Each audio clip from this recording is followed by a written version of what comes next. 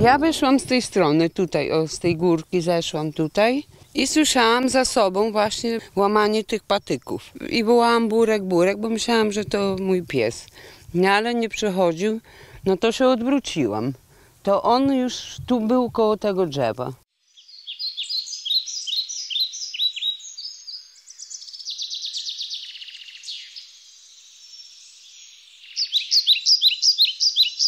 Z niedowierzaniem, bo myślę, nie wiem, przewidzenia, czy...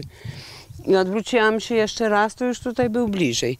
No to pobiegłam w tą stronę, tutaj, i z tego drzewa skoczyłam tu i do góry.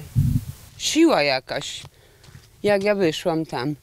I jeszcze wyżej, jeszcze wyżej. No to pomyślałam sobie, zadzwonię pod 112. Ale telefon mi wypadł. Telefon obwąchała, ale zostawiła nic nie tego. I z powrotem łapami w górę.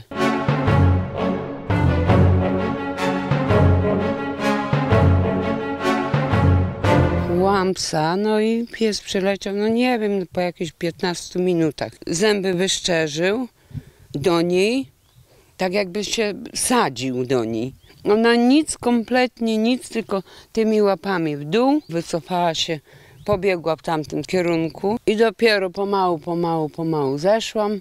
Bladziutka cała, mokra, obdarta, buty podarte.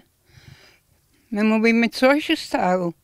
Mówi, że to była siła Boża i, i, i burka siła, że ją uratowali.